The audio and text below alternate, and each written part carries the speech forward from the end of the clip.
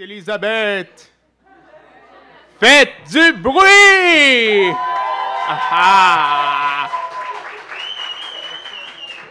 Bonsoir et bienvenue à cet événement Bistro Brain. Je m'appelle Félix Côté et je serai votre, votre humble serviteur pour la soirée.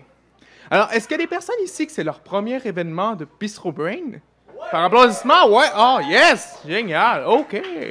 Alors, pour ceux qui ne le savent pas, mais Bistro Brain, c'est quoi? Eh bien, c'est un OBNL qui œuvre dans la vulgarisation scientifique depuis 2017. On fait des soirées comme celle-ci à Montréal, mais aussi à Trois-Rivières et à Sherbrooke. Pour ce soir, nous aurons quatre présentations de 10 à 12 minutes. On va commencer comme suit. On va se faire deux premières présentations. On va se prendre une petite entraque pour se dégourdir un petit peu les jambes deux dernières présentations et ça va conclure notre belle soirée. Également, après chaque présentation, on va avoir un petit cinq minutes de questions. Comme ça, si vous voulez aller plus loin, que vous avez toujours des interrogations, mais il va y avoir un petit moment d'échange avec nos présentateurs, présentatrices. Notez que l'événement est enregistré. Comme ça, si jamais une présentation vient vous toucher profondément, bien, vous allez pouvoir la regarder sur notre YouTube aussi, là c'est très important, il va y avoir un quiz à la fin de la soirée et les questions vont être à propos des présentations. Et il y a des prix à gagner, alors restez attentifs. et également, Bistro Brain souhaite remercier son collaborateur pour la soirée, le Centre d'innovation biomédicale. Et sur ce, je vais laisser M. Louis Doré Savard venir à l'avant pour nous faire une petite allocution.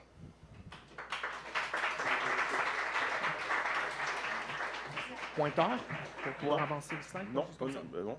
Ah, ben pour avancer les slides. Oui. C'est bon.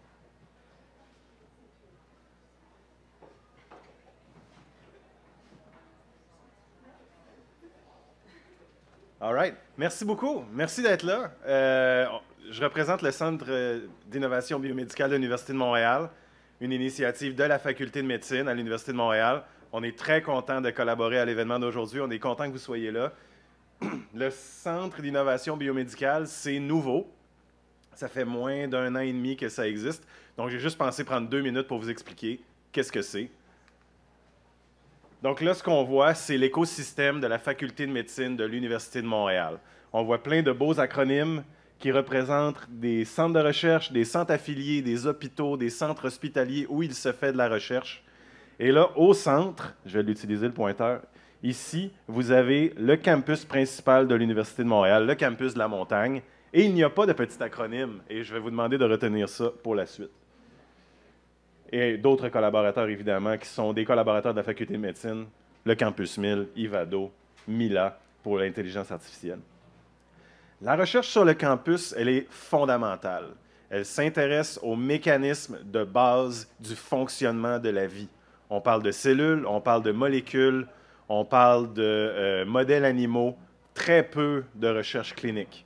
On fait de la recherche translationnelle qui s'en va vers la clinique, mais très, très peu de recherche sur le patient, vraiment sur la molécule et la cellule.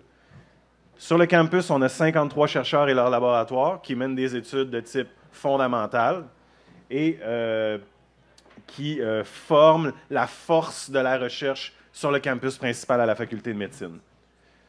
Donc, ce qu'on est en train euh, de mettre sur pied, c'est une structure qui va regrouper ces laboratoires-là sous une même entité. On, on, se retrouve avec un nouveau centre de recherche sur le campus principal qui va répartir son expertise dans cinq axes de recherche. Je ne vais pas rentrer dans le détail ici, mais aujourd'hui, vous allez surtout entendre parler de mon axe ici de couleur jaune, jaune-orangé. Euh, je suis daltonien, donc vous me corrigerez si, j'ai tort.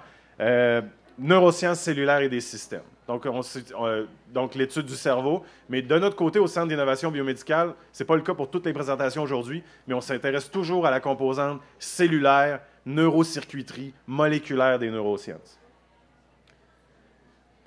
Le Centre d'innovation biomédicale, c'est aussi des plateformes, donc des plateformes technologiques, des équipements de pointe qui sont mis à la disposition de tous nos chercheurs, Avant la formation du centre, ces plateformes-là se trouvaient partout dans les départements. Maintenant, on les regroupe, tout le monde a accès, on peut collaborer pour faire des études plus pointues, mieux caractériser nos modèles à cause de la constitution du centre.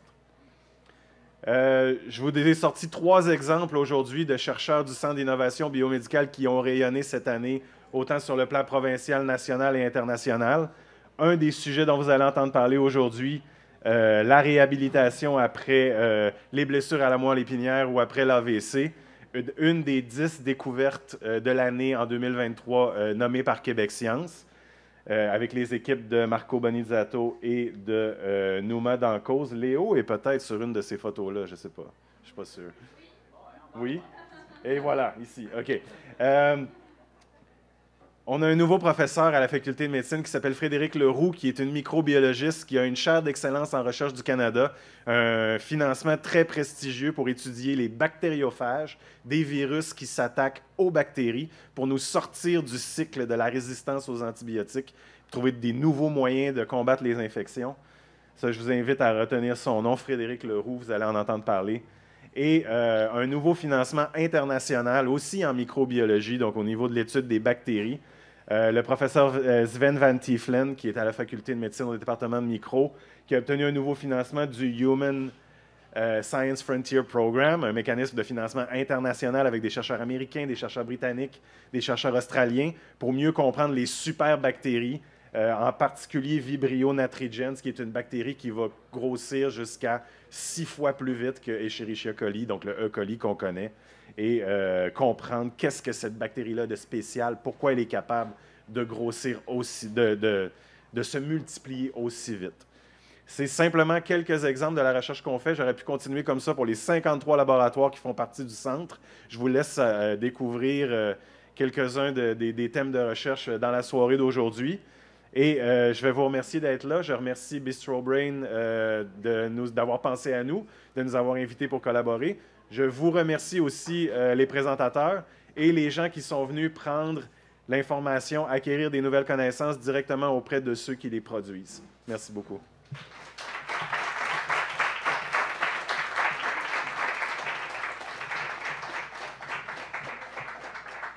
Alors sur ce, on est prêt à débuter notre soirée. J'inviterai Marjorie Côté qui présentera Mes peurs. C'est dans ma tête, mais où? Hmm. Pour la présenter, après des études en communication marketing, Marjorie s'est plongée dans la perception subjective par des études en sciences cognitives et en psychiatrie. Étudiante à la maîtrise en sciences psychiatriques et addictologie, Marjorie travaille aussi en neurodéveloppement et en photographie. Amatrice de la science accessible à tous, elle souhaite faire croître la curiosité. Je lui cède la parole.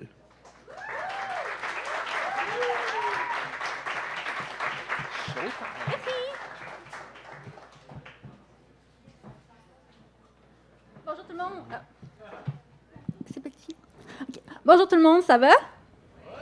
Oui! parfait. On va commencer aujourd'hui avec un petit exercice parce qu'en fait, ben, la peur, c'est quoi? Je veux juste que vous, pendant un instant, vous pensez à la peur. En fait, imaginez-la dans votre tête.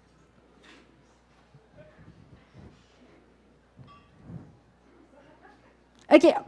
Donc, est-ce qu'il y a des personnes ici en ce moment qui ont pensé à la peur, mais avec des réactions de peur? Donc, par exemple, quelqu'un qui, euh, devient blanc, qui commence à suer, qui, crie ou euh, qui court. Est-ce qu'il y a des personnes ici qui ont pensé à ça avec la peur, en main levée? OK, donc vous, vous avez pensé à des réactions de peur. Maintenant, est-ce qu'il y a d'autres personnes qui ont pensé à des moments qui ont vécu, qui ont eu de la peur? Comme par exemple, euh, je ne sais pas, c'est les personnes qui ont peur des avions, mais pour des personnes qui ont peur des avions, il y a soudainement une turbulence dans l'avion et là, ah! Ils pensent qu'ils vont mourir là, parce que l'avion va tomber, comme bref, explosion. Est-ce qu'il y a des personnes qui ont pensé à justement cette euh, façon de voir la peur là, donc une plus subjectif? Oui! En fait, euh, justement, cette, cette peur-là, en fait, vraiment l'émotion de la peur, la conscience de la peur, mais c'est ça qui m'intéresse. Et en gros, qu'est-ce qui m'intéresse? Mais c'est de savoir, ben, ça se trouve où, justement, dans la tête? La peur? Parce que la peur, ben, on l'a vu en passant, les personnes euh, qui ont euh, levé la main, donc on peut avoir. Euh, ben, c'est quelque chose qu'on connaît tous pas mal, la peur. C'est que ce soit par rapport à la peur à une situation qui arrive ou bien à la peur par rapport à quelque chose qui pourrait potentiellement arriver, dont une infestation de souris. Donc, euh, la peur, ça arrive à tout le monde, mais en fait, pour certaines personnes, la peur, ben, c'est peut-être handicapant.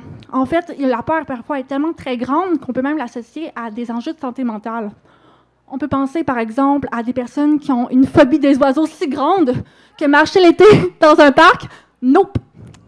Ou euh, bien euh, les personnes qui ont une anxiété sociale si grande que être à ma place en ce moment là, ah, non, dans sur ma tombe.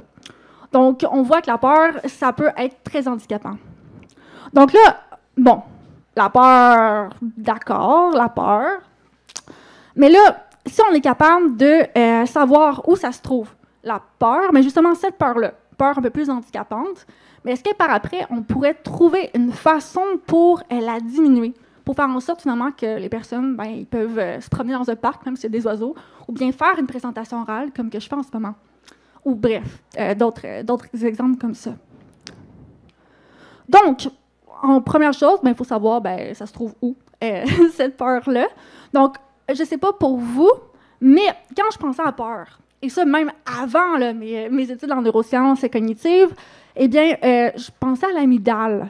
Je ne sais pas pour vous, mais c'est comme quelque chose parfois qu'on peut connaître juste par culture générale. Mais là, l'amygdale, monsieur, madame, euh, quand j'entendais ça pour la première fois, ben, je pensais plus comme euh, les amygdales dans la gorge, genre une amygdalite. Tu sais, genre comme quand, j'étais jeune, genre j'écoutais Arthur, le petit bonhomme-là. Et à un moment donné, ben, justement, il y avait eu une, une amygdalite, fait qu'il a dû se faire opéré, là, il mangeait de la crème glacée. Fait que pour moi, amygdale, c'était vraiment associé à ça. Et non, c'est deux choses complètement différentes. Donc, l'amygdale, en fait, c'est plus une structure qui est euh, dans le cerveau. Mais là, en fait, OK, donc là, on a une structure qu'on connaît qui peut avoir lieu avec la peur. Il y a d'autres structures aussi. Mais là, on veut vraiment cibler comme un type de peur. On ne veut pas comme faire comme backlash, la personne n'a plus peur. Parce que pour que vous êtes là en ce moment, c'est que vous devez avoir peur. Parce qu'autrement, vous aurez peut-être traversé la rue pendant un char qui passe. C'est normal d'avoir peur. C'est ça qui fait en sorte qu'on est en vie. Notamment. Donc, une façon de faire, en fait, mais qu'on pourrait dire, bon, on pourrait peut-être diviser les peurs selon euh, les expériences, euh, selon la mémoire. Parce que selon certains chercheurs, les expériences subjectives seraient encodées par la même, différents types de mémoire. Donc, au niveau de la peur, on pourrait comme dire que euh, la mémoire procédurale, ça en passant sa mémoire qui fait en sorte que quand on conduit manuel pendant genre des années, un moment donné après, ben, on conduit l'auto automatique de genre son chum, par exemple. Et là, ben, même si je sais que l'auto de mon chum, c'est un auto automatique, ben, j'essaie de, mettre mon pied sur comme la deuxième pédale et genre changer de vitesse. Ça se passe pas comme ça. Donc, même si je sais, au niveau de mon corps, mais justement, j'ai cette mémoire-là, un peu comme une mémoire du corps. Donc, au niveau de la peur, on aurait pensé que c'est peut-être euh, un conditionnement euh, à la menace. Donc, euh, par exemple, quelqu'un qui voit une lumière rouge, et quand il voit la lumière rouge, mais on lui envoie un choc électrique. Donc, la prochaine fois qu'on lui voit la lumière rouge, mais que lui, il va voir la lumière rouge, mais il va recevoir encore un choc électrique, et vice-versa. On continue comme ça. Donc là, la personne va associer le fait lumière rouge égale choc électrique. Ça fait en sorte que quand il va revoir la lumière rouge, qu'est-ce qu'il va faire? Il va crisper. Choc électrique, pas agréable. Donc, et même si on lui dit par après, OK, l'expérience est finie, euh, euh, la lumière rouge, maintenant, ne va plus t'envoyer de choc électrique. Ben, ça va quand même prendre un moment là, pour que le corps fasse comme Ah, lumière rouge! OK, c'est correct, c'est correct, j'ai pas à crisper. Ça va prendre le temps de déshabituation, finalement. Donc, ça, c'est un peu justement ça, par rapport à la mémoire procédurale. Un autre type de mémoire, ben, on pourrait penser peut-être à la mémoire sémantique. Euh, sémantique. Donc, finalement, une mémoire un peu plus de faits. Commencement, qu'est-ce qu'on sait? Ben, on sait qu'on est dans un événement Mr. Brain, et c'est fucking cool. On sait ça. Et au niveau de la peur, on pourrait penser, ah, c'est un peu comme si c'était euh, des situations de peur. Donc, une peur situationnelle. Donc, c'est-à-dire que euh, si on, sait que si on se met en haut d'une montagne, par exemple, et qu'on regarde en bas, mais qu'on a peur. Parce que quand tu es en haut d'une montagne, tu regardes en bas, mais ça se peut que tu tombes. Gravité. Donc ça, c'est une information que justement qu'on peut savoir que effectivement c'est dangereux factuellement. C'est un fait. Donc une troisième peur, ben, ça pourrait être relié par rapport à la mémoire. Ben, en fait, la mémoire épisodique. Donc ça, c'est euh, la mémoire des événements, le où, quand, quoi. Comme par exemple euh, les, euh, comme quand tu étais au primaire, secondaire, tu devais raconter une histoire, inventer une histoire, ben justement, c'est des questions qu'on pouvait se poser pour créer comme un, un, scénario, une petite histoire. Et au niveau de la peur, on pourrait penser que c'est un peu comme des schémas de peur. Donc, euh, c'est-à-dire que quelqu'un a une phobie des araignées. Donc là, il va voir une araignée, là, l'araignée va monter sur lui, là, là il va faire comme Ah! L'araignée va me piquer et je vais mourir. Ou, bref, être profondément affecté par l'araignée, par sa morsure. Donc ça, c'est une histoire que la personne se raconte. Donc on pourrait dire un schéma de peur. Mais bon, vraiment. Parce que là, ce que je vous dis, c'est comme plein de, de, de, concepts, comme où on pourrait dire ça, que ça fonctionne comme ça. Mais est-ce qu'on est vraiment capable de différencier ça au niveau du cerveau? Genre, yo, OK, la peur, d'accord, on peut dire plusieurs types de peur, mais concrètement, donc, en fait, il y a des chercheurs qui ont, euh, qui ont entraîné un décodeur, donc un algorithme par euh, intelligence artificielle, pour leur dire que, OK, décodeur, là, je veux que tu apprennes que euh, dans, voici la peur situationnelle, je veux que tu apprennes que la personne a peur, oui ou non. Donc là, le, décodeur, ben, il apprend. Il est bon finalement après pour dire la personne, oui, elle a peur. Non, elle n'a pas peur. Oui, elle est capable de faire la tâche, elle est bonne là-dedans. Là, après, on fait comme, bon, voici, le décodeur, il est bon là-dedans, mais oups, on lui envoie quelque chose d'autre. Donc, c'est comme si en biologiste, on lui dit Ah, là, on va t'envoyer euh, des animaux en général. Est-ce que tu es capable encore de différencier comme un peur par rapport à, une autre? Donc, Donc là, on envoie ce décodeur-là qui était vraiment bon avec la peur situationnelle et on l'envoie au schéma de peur. Et qu'est-ce qu'on trouve en gros? Ben, le décodeur. Il est bon. Il est quand même bon aussi pour, pour dire si la personne qui a des schémas de peur a peur, oui ou non. Même s'il n'a pas été entraîné avec lui, là. Donc, on peut dire, ah, ben finalement, la peur, ben, c'est comme juste peut-être la peur en général. Fait pourquoi qu'on se complique la tête? Donc là, les chercheurs ont fait l'inverse. Pourquoi pas? Donc là, cette fois-ci, ils ont entraîné le décodeur à euh, apprendre vraiment, à être capable finalement de différencier si la personne avait peur ou non avec des schémas de peur. Donc, est-ce que la personne a peur? Oui, non, oui, non. OK, je suis rendu vraiment bon là-dedans.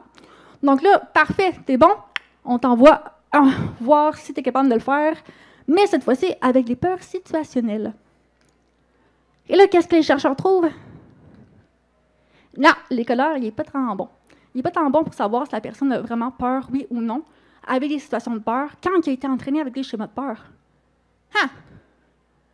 En gros, c'est peut-être que les, les, en fait, la peur situationnelle, ce serait dans une petite région, dans un petit cercle, et euh, les schémas de peur dans quelque chose de beaucoup plus gros, peut-être?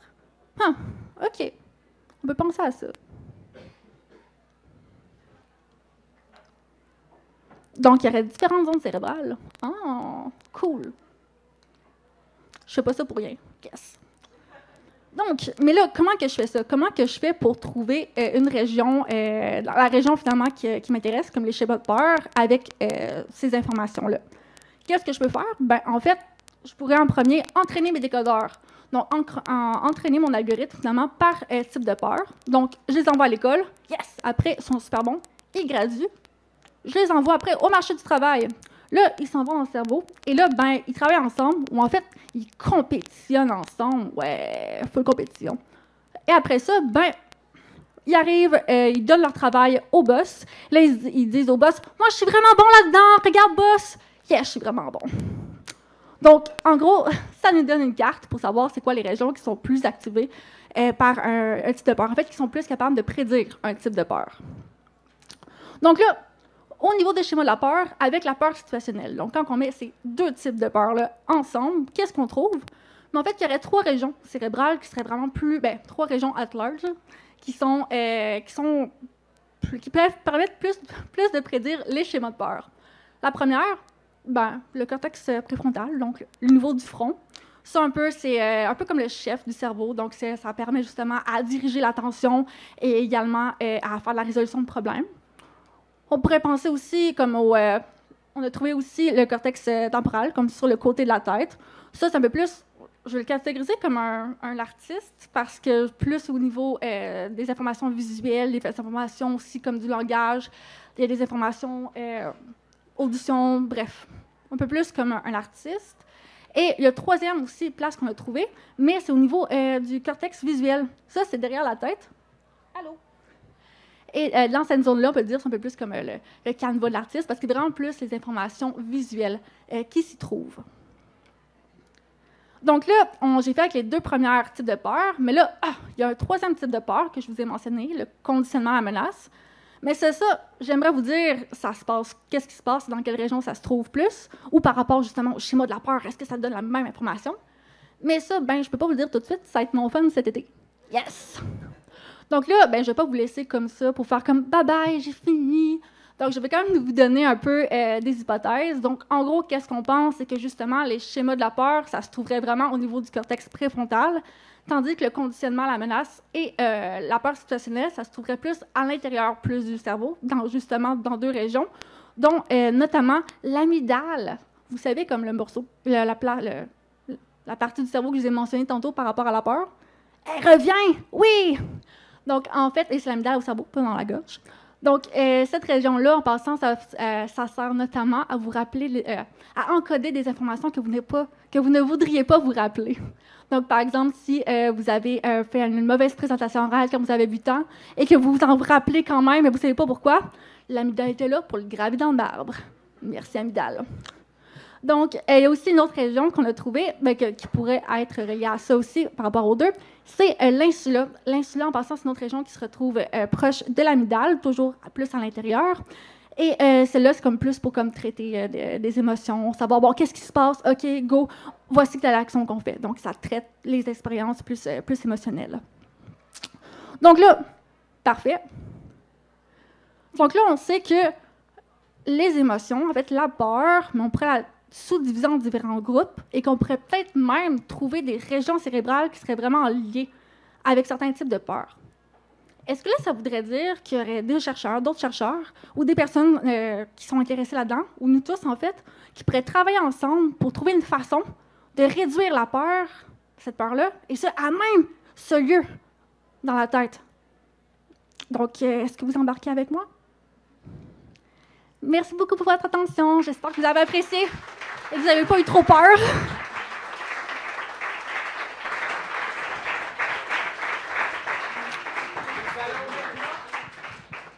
Nous allons maintenant passer un petit 5 minutes des questions. Si les personnes ont des interrogations, des questions que vous poser, vous pouvez lever la main.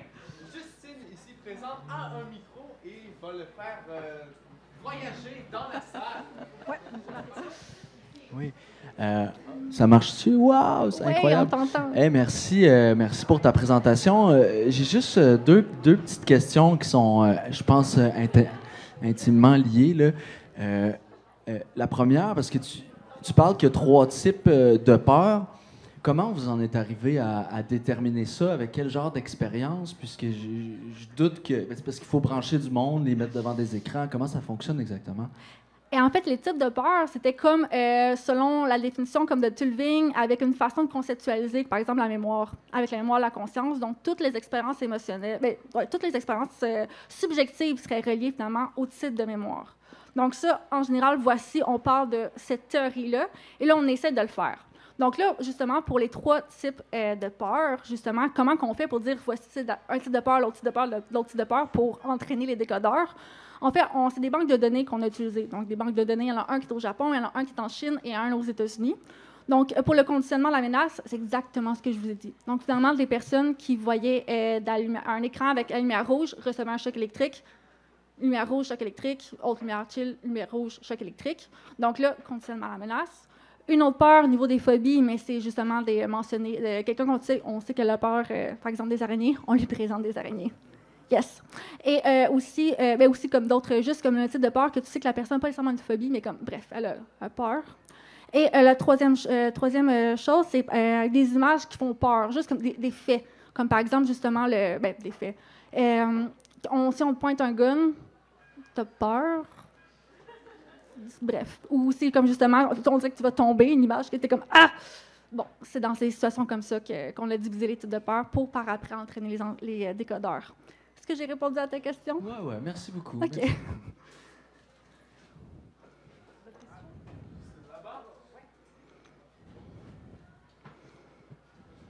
Salut. Euh, Allô Moi j'ai juste une petite question. Oui. Comment est-ce que tu fais la différence entre la modalité qui est associée avec vraiment le traitement de l'info en lui-même et la peur en elle-même? Qu'est-ce que tu veux dire la modalité? Par exemple, euh, si tu prends quelque chose de procédural, tu sais qu'il va y avoir des régions qui vont être plus impliquées que d'autres. Mhm. Et si tu, prends, euh, si tu prends du contexte, tu sais que tu vas avoir d'autres régions qui vont être plus impliquées.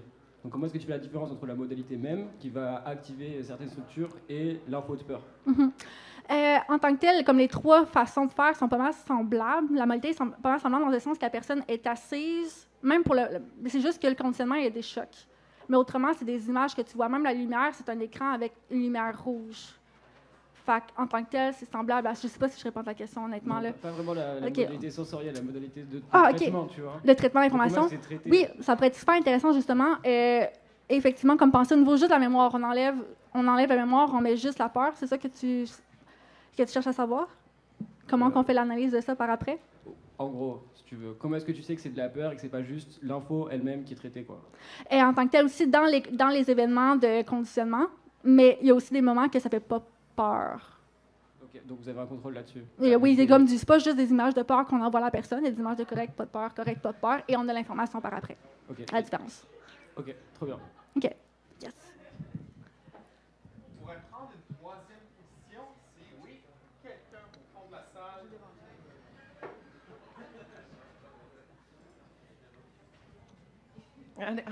Allô, merci pour la présentation, très intéressant. Je me demandais, avez-vous pensé, parce que toutes, toutes vos stimuli de peur contiennent dans le fond une stimulation visuelle, fait que c'est sûr que tu vas avoir ton activation du cortex visuel. Avez-vous pensé euh, faire une histoire qui fait peur, demander à la personne de se rappeler quelque chose, qui fait, ou de faire d'autres modalités qui ne vont pas nécessairement faire activer toujours le circuit visuel et basé sur des images, parce qu'on sait qu'une histoire pourrait faire peur, puis essayer vraiment de peut-être ben c'est ça, de, de- de vérifier quelle activation est reliée ou non, euh, euh, et puis avoir un portrait plus spécifique qui ne dépend pas de la modalité sensorielle avec laquelle tu racontes l'histoire ou tu fais peur. C'est un excellent point qui serait peut-être pour un autre projet, mais pas le mien. Mais euh, oui, effectivement, je suis complètement d'accord que justement, tous les stimuli sont visuels, donc le cortex visuel est genre vraiment au, tapis, euh, au tapis surtout dans certains. Là. Fait Puis que, dans le fond, je, je me demandais, au niveau de la méthode, quand vous Oui. euh, faites les enregistrements, est-ce que c'est des IRM, est-ce que c'est des enregistrements, c'est quoi, c'est quoi dans le fond, Oui. j'ai, j'ai peut-être pas capté, là, mais... En fait, euh, toutes les, euh, toutes les stimuli, en fait, c'est par des IRMF. OK. Donc, et on, on, a- on associe finalement comme les données cérébrales avec la peur subjective. Donc, Ouais. pour certains, c'est comme de 0 à 5, la personne à quel point qu'elle a peur. Donc, par exemple, pour euh, les peurs qui sont plus de phobie, notamment, on demande avant à quel point tu as peur, justement, des araignées. À quel, peur, à quel point tu as peur, genre, des chats. À quel point tu as peur, bref, de tous ces animaux. Ben, de plein de, de choses. Et après, on leur présente les images. Tandis que pour le conditionnement, on dit à quel point tu as peur en ce moment de recevoir, un- de voir la lumière rouge.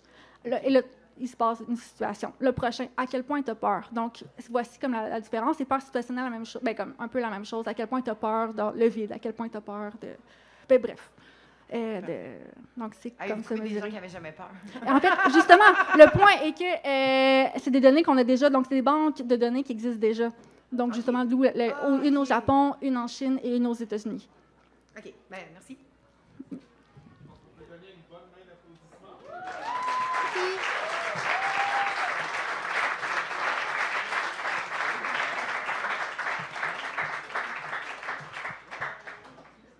Poursuivons avec la présentation de Léo Chouanière, qui montera sur scène.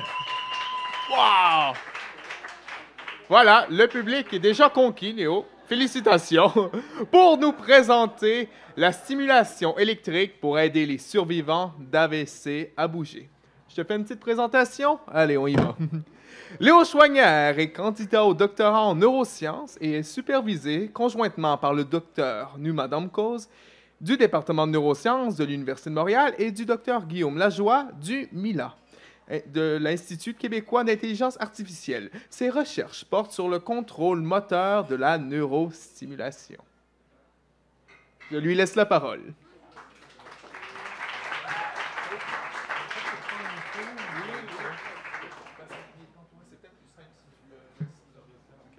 Je vais laisser là. Bonjour. Hum, hum, hum. OK. Donc, euh, je vais vous parler d'AVC. Donc, au Canada, c'est environ 60 000 personnes par année qui euh, sont touchées d'un AVC. Donc, euh, je vous ai mis ça pour vous aider à visualiser c'est quoi cette proportion. Donc, c'est environ une personne sur 1000 euh, au Canada. Puis, donc, les gens sont généralement initiés à cette campagne qui cherche à faire en sorte qu'on réagisse vite quand on se rend compte que quelqu'un fait un AVC. parce que euh, réagir vite peut limiter les dommages que, euh, que la personne subit. Mais malgré ça, malgré les meilleures circonstances où euh, une personne est envoyée à un centre spécialisé, je vais essayer de rester devant le- est envoyée à un centre spécialisé, il y a quand même seulement 20% des gens qui vont s'en sortir sans aucun handicap. Donc, ça résulte en environ 400 000 Canadiens qui vivent avec des handicaps activement. Donc, ça, c'est une personne sur 100 que je vous ai mis ici. Euh, donc, on sait aussi qu'après que quelqu'un fasse un AVC, il va y avoir une certaine guérison, une amélioration des symptômes, mais euh, beaucoup de symptômes vont rester. Euh, puis là, il euh, n'y a rien à faire. Donc, j'aimerais vous demander, parce que c'est généralement quelque chose que les gens savent, qu'est-ce que c'est euh, l'handicap qui reste, qui est le plus commun? Ouais, exact, j'ai entendu, ouais. Je vais me satisfaire de ça. Donc oui, euh, les survivants euh, d'AVC ont souvent des troubles moteurs, puis spécifiquement des problèmes de dextérité manuelle.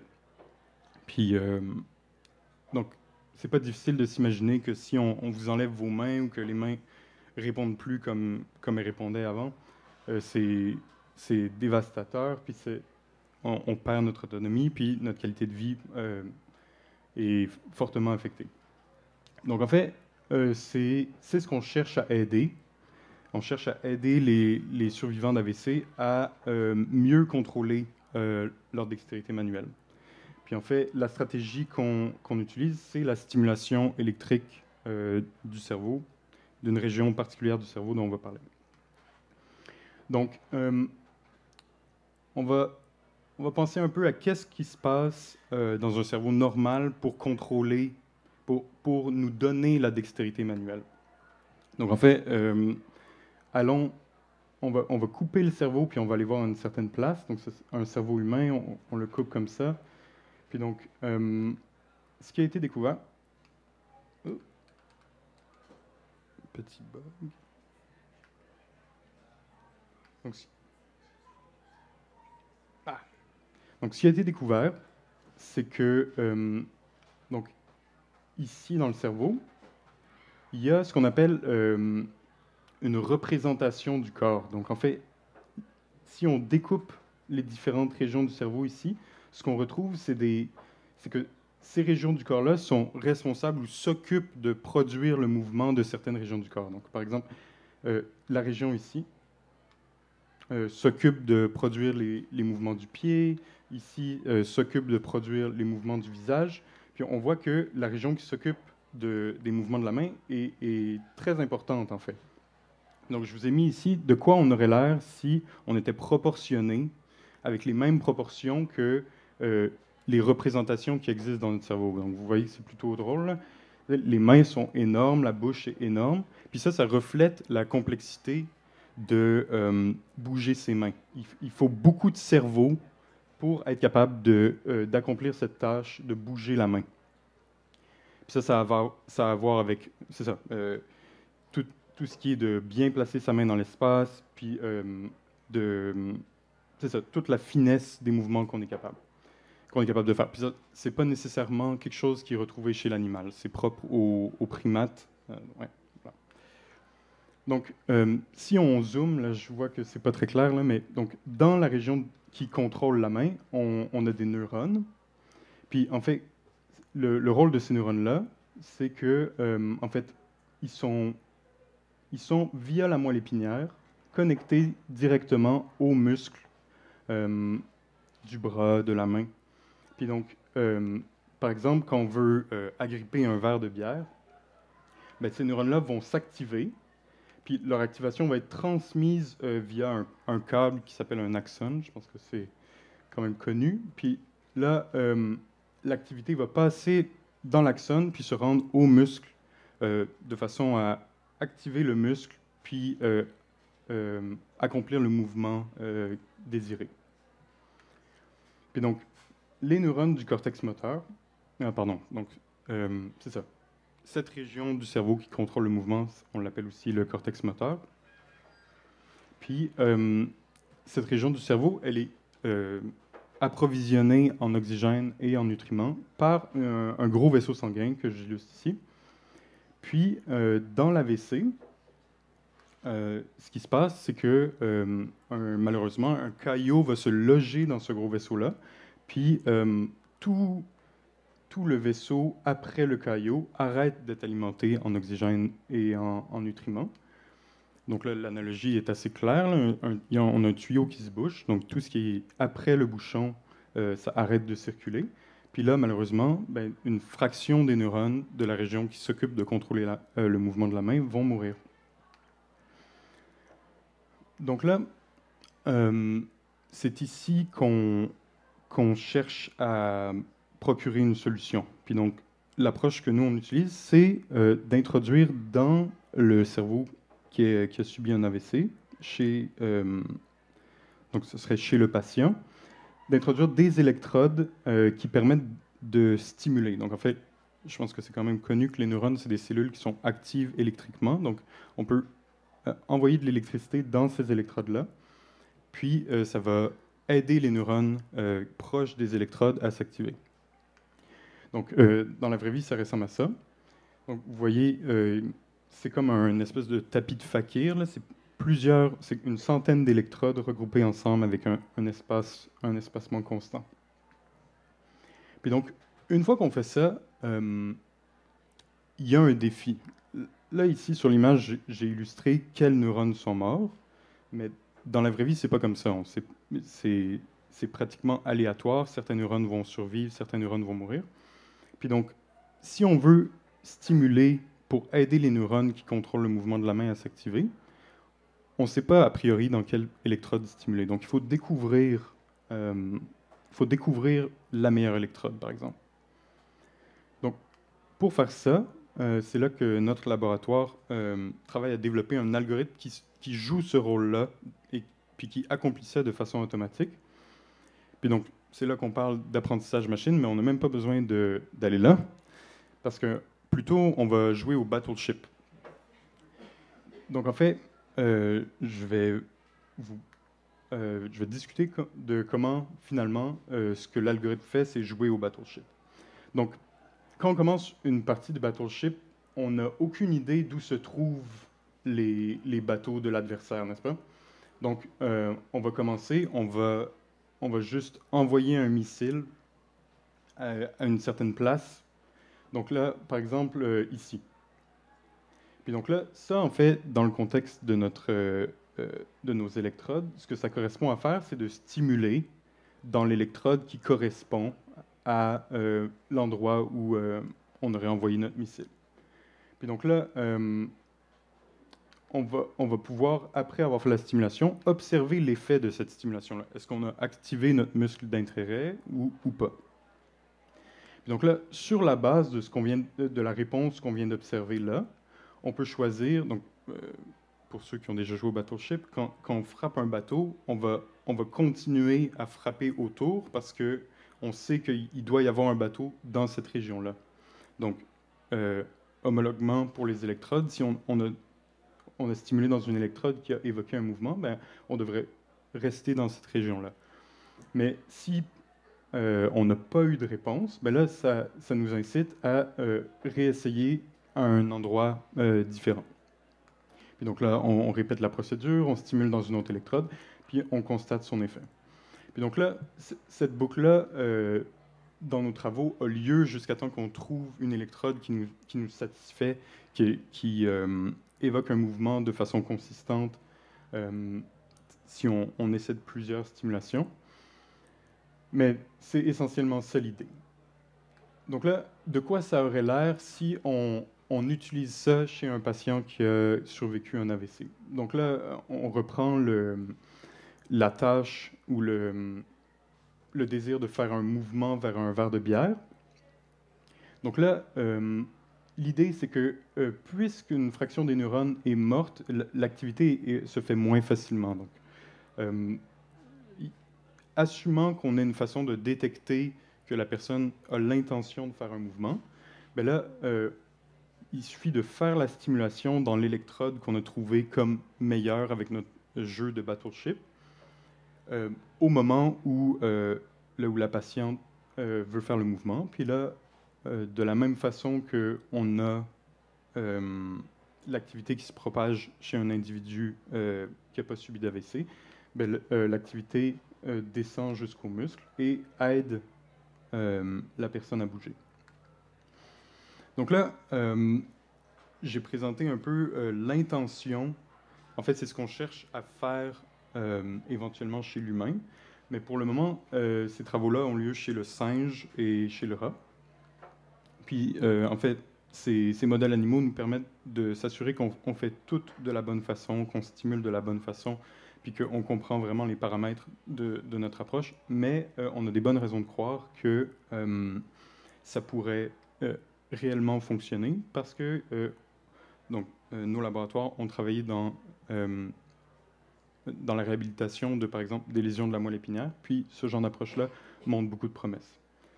Donc voilà, j'aimerais finir euh, par remercier ma direction, Guillaume Lajoie et Nouma Dancourse en particulier, et euh, mes sources de financement, FRQ et UNIC en particulier. Merci.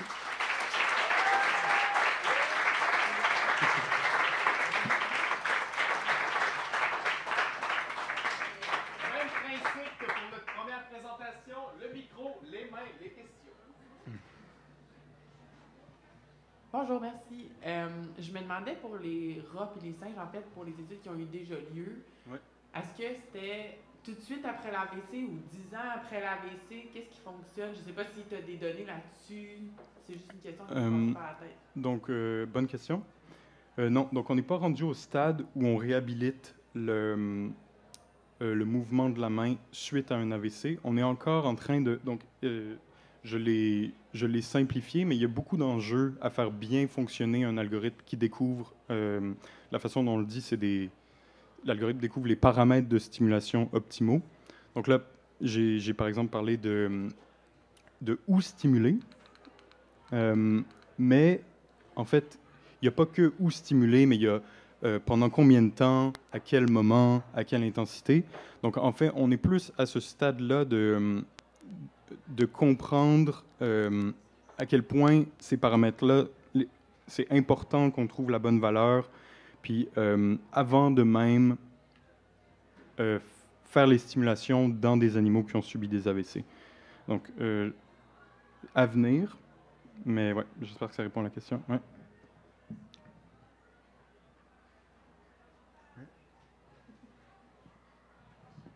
Merci pour la présentation aussi. J'ai une question à deux volets. La première, c'est euh, quand vous réalisez ces expériences-là, ça se passe à l'intérieur de quel genre de frame de temps?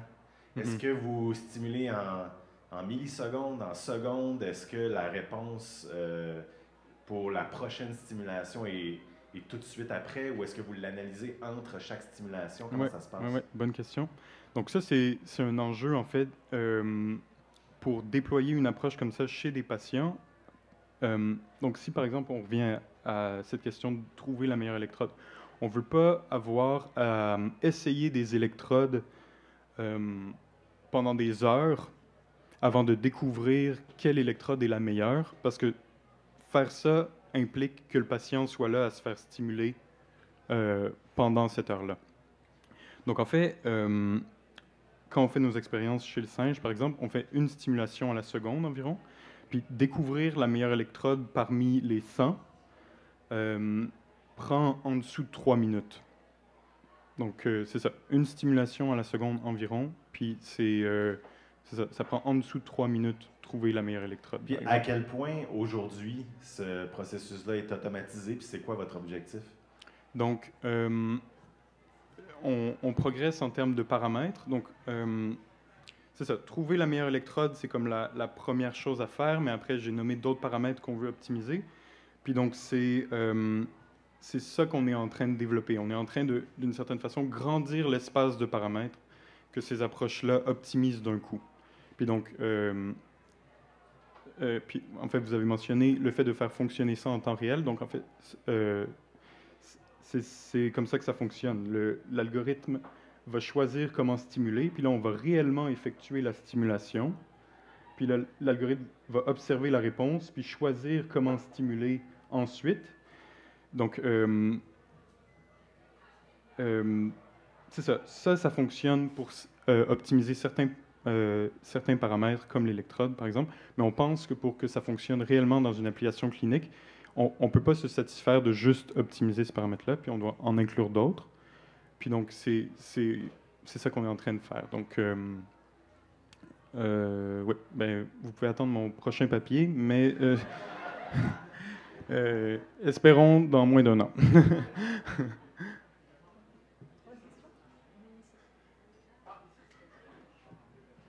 Euh, merci beaucoup de la présentation. J'avais une question par rapport le après stimulation. Oui.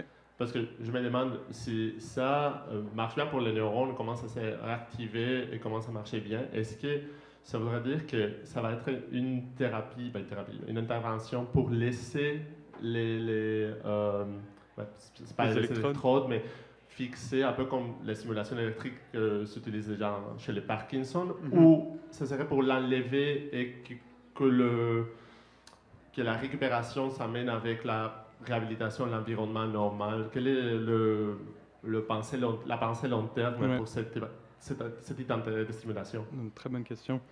Donc, en fait, euh, une chose que je peux dire, c'est que euh, y a des humains qui sont implantés avec des électrodes comme ça. Puis, euh, la qualité du contact électrique qui existe entre ce corps étranger et le tissu biologique se dégrade avec le temps. Donc, euh, je pense que... puis on sait aussi que la, la plasticité neuronale a une relation euh, très serrée avec l'activité des neurones. Donc, euh, activer les neurones peut encourager la plasticité neuronale. Donc, l'intention de cette approche, c'est plus de euh, introduire les électrodes suite tôt après l'AVC pour encourager l'activité et la plasticité bénéfique, puis que parce qu'on sait justement que ces électrodes-là, le, contact électrique ne va pas durer éternellement dans le temps, puis que ça, euh, aide le cerveau à se reconfigurer de façon à ce que les neurones qui ont survécu puissent contrôler le mouvement d'une façon qui est similaire à ce que la, la personne était capable de faire avant, puis ensuite de retirer les électrodes. Mais ça, on est encore au stade de l'intention. On va voir euh, qu'est-ce que ça donne. Ouais.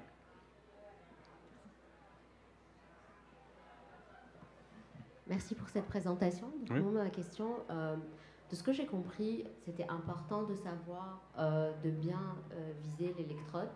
Et est-ce que de l'apprentissage par rapport à l'algorithme, l'apprentissage machine faisait qu'aujourd'hui, on arrive à reconnaître l'électrode du premier coup ou il faut combien d'essais pour le faire? Non, donc,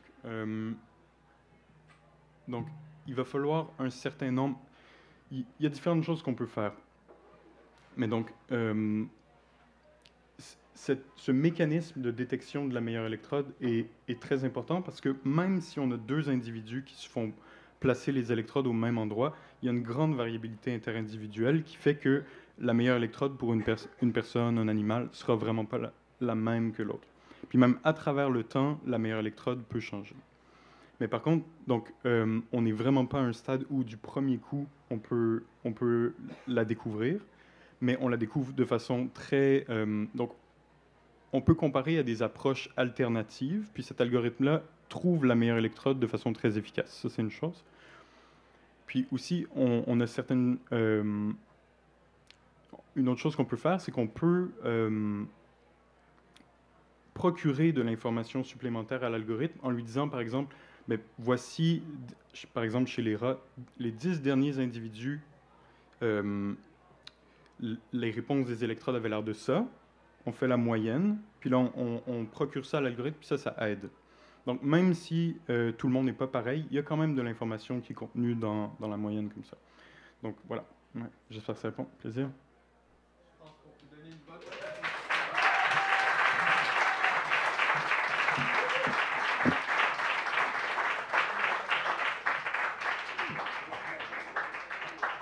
Ça doit faire des journées très intéressantes dans un lab, ça. c'est- A7.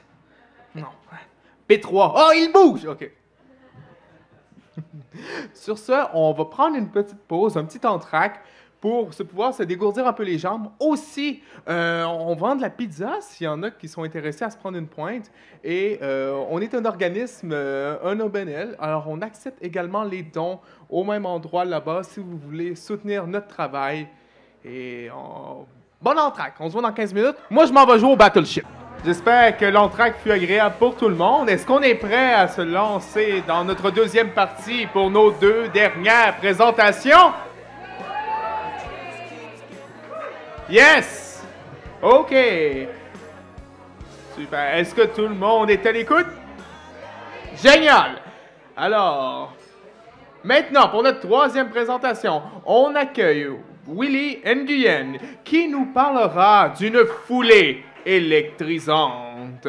Pour le présenter, toujours en quête de découverte, Willy a fini par s'intéresser au grand mystère du cerveau. Aujourd'hui, en première année de doctorat dans le laboratoire de Martinez à l'UDM, il cherche à fusionner neurosciences et technologie pour repousser les limites de la réhabilitation des handicaps moteurs. Je te laisse la parole, Willy.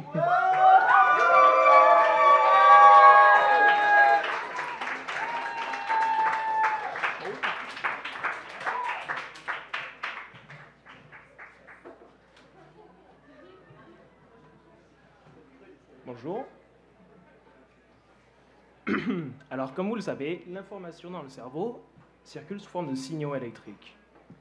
Bien qu'on ne sache pas encore comment marchent ces signaux, ni comment tout est articulé, il se peut qu'on puisse distinguer certains patterns de temps en temps.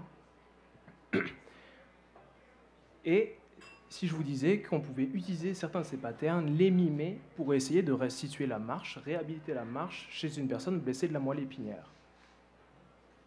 Alors tout commence avec le cerveau. C'est lui qui va recevoir toutes les informations de notre environnement, qui va pouvoir les traiter et les restituer de manière adaptée à notre corps pour qu'il puisse réagir à cet environnement. Mais très impressionnant, mais tout seul, en tout cas dans le cadre du mouvement, il va rien faire sans ses acolytes. Moelle épinière et les muscles. En effet, la moelle épinière va s'occuper de raffiner le signal et de le distribuer de manière adaptée aux muscles pour que le corps puisse produire le mouvement désiré. Mais aussi bien qu'il y ait de l'information du coup qui descend du cerveau jusqu'au muscle, il y a aussi de l'information qui monte. Cette information, le toucher, la proprioception, passe essentiellement par la moelle épinière. Et c'est ça qui va activer tout plein de réflexes. Par exemple, euh, lorsqu'on parle de locomotion, tout l'équilibre va se jouer là-dessus. C'est ces réflexes spinaux, du coup, qui, même dans les situations les plus adverses, vont nous aider à prévenir la chute, même lorsqu'on n'est pas encore euh, tout à fait conscient de ce qui se passe autour. Donc, on l'a bien vu, en tout cas dans le cadre de la locomotion, c'est quelque chose qui paraît assez simple, un signal qui va du cerveau jusqu'au muscle, mais c'est en fait une mécanique un petit peu plus complexe, un mélange d'informations volontaires et involontaires qui, tout mis ensemble de la bonne manière, va faire en sorte que ça marche plus ou moins bien. Maintenant, mettons-nous dans le cas où le système nerveux va subir un dommage. La moelle épinière, en l'occurrence, autoroute de l'information, elle est brisée. En effet, on n'est jamais à l'abri d'une chute, euh, malgré nos super réflexes spinaux. Et il se peut que, bah, parfois, on se blesse. Et au Canada, c'est 4000 personnes par an qui vont être nouvellement blessées à la moelle épinière et qui vont souffrir de déficit moteur. Donc, mettons-nous dans le cas où quelqu'un vient de se blesser euh, et je vous demandais, d'après ce que j'ai dit plus haut, si vous m'écoutez toujours, de quels sont les deux grands déficits dont une personne blessée va souffrir à la moelle épinière. Oui, monsieur? Oui, très bien, bravo. Perte de motricité. Deuxième déficit. Oui, Excellent. Perte de sensation. Donc maintenant, regardons pour quelqu'un qui s'est nouvellement blessé à la moelle épinière, qu'est-ce qui va se passer lorsqu'il va essayer de marcher à nouveau? Le signal, la commande va partir du cerveau, va descendre, faire son petit bout de chemin et bam, il n'avance plus. En effet, les axones, prolongement des neurones, euh, sont endommagés ou coupés. C'est-à-dire que l'information circule plus ou très très mal. Dans le pire des cas, on peut assister à une paralysie complète. Donc plus de mouvement, chiant. Mais souvent quand même, il reste, euh, il reste quelques passages. Ces passages pourraient potentiellement être mobilisés. En effet, notre cerveau est capable de faire preuve de plasticité cérébrale, c'est-à-dire qu'il va pouvoir essayer de retransmettre la même commande qu'il faisait avant, mais en modifiant un petit peu son activité, en s'adaptant au nouveau chemin euh, qu'il est obligé euh, d'utiliser. Donc grâce à ça, on peut avoir une certaine réhabilitation après la blessure, mais c'est quelque chose qui n'est pas optimal. Euh, concrètement, ça va se traduire par le renforcement des voies qui restent et la création de nouvelles connexions entre d'autres neurones. Mais c'est quelque chose qui est assez limité et quelqu'un qui s'est nouvellement blessé va pouvoir peut-être réduire un petit peu ses symptômes négatifs avec la plasticité, plasticité neuronale, pardon, mot est difficile. Euh, mais on n'a pas vu quelqu'un qui était avec une moelle épinière entièrement coupée, qui a pu remarcher totalement naturellement, de manière normale, euh, comme il le faisait avant. En effet, on n'est toujours pas capable de faire repousser une moelle épinière, en tout cas de manière fonctionnelle, euh, avec des, nouveaux neurones, des nouveaux axones, tout bien connectés comme avant. Donc, il faut trouver des alternatives. Aujourd'hui, ce qu'on fait beaucoup, c'est tout ce qui est entraînement locomoteur pour essayer de réduire tous les symptômes négatifs liés à la blessure. Euh, mais pareil, c'est pas quelque chose qui va marcher parfaitement et euh, il nous faut plus de recherche pour essayer euh, de faire en sorte que la récupération soit plus efficace, que, que, le tout marche mieux. Donc moi, ici, je vais vous donner un petit aperçu de ce qui se fait en neuro-ingénierie et de ce qui pourrait se faire plus tard. Ah, on peut commencer avec euh, les exosquelettes. C'est très très peu répandu. Donc pourquoi j'en parle? Euh, Parce que ça se développe de plus en plus. Euh, il y en a pas tant que ça, mais ils, ils marchent tous de la même manière. C'est-à-dire qu'ils ont tous l'ambition de faire remarcher quelqu'un comme ils le faisaient avant. Ils ont tous des membres pour faire rebouger le sujet, mais ils vont être télécommandés par exemple juste avec une télécommande, un outil très très simple, ou un peu plus compliqué, une interface qui va essayer de traduire euh, les signaux qui proviennent du cerveau pour les transformer en commandes. Un autre aperçu de ce qui se fait, par exemple, là, toujours quelque chose qui est implanté dans le cerveau du sujet, qui va essayer de traduire pareil ces signaux et de le transformer en commande pour envoyer, contourner toute la zone blessée dans la moelle épinière et envoyer tous ces signaux à un patch d'électrode qui va être fixé sous la moelle épinière, qui, elle, va faire toujours le lien avec le muscle des jambes. Donc, toutes ces technologies sont très impressionnantes par leur manière de fonctionner, par leurs ambitions, mais il reste encore d'autres voies à explorer. euh, en effet, il y a un truc qui serait en particulièrement assez cool, euh, serait de pouvoir se détacher euh, de ces outils qui, sur le long terme, pourrait être un petit peu handicapant euh, ou du moins contraignant à utiliser. Donc une autre voie à explorer, c'est celle d'utiliser en fait le circuit restant euh, chez la personne qui est blessée. Donc en fait, on a vu précédemment, on a ce qui s'appelle une plasticité euh, du système nerveux. Et même lorsque la moelle épinière est blessée, euh, il reste toujours des petits circuits. Donc pourquoi pas essayer de euh, les mobiliser pour optimiser ce mécanisme naturel qui est euh, la plasticité cérébrale. Donc au laboratoire Martinez, c'est ce qu'on essaye de faire. On essaye de comprendre les mécanismes par lesquels la plasticité du système nerveux se met en place pour essayer de les mobiliser et de les optimiser. Donc tout commence avec un modèle animal. Ici, on va parler du rat, c'est ce avec quoi on travaille. Pourquoi? Parce que c'est un animal assez sociable et intelligent pour qu'il puisse apprendre plein de tâches différentes euh, et assez spécifiques et plus ou moins rapidement.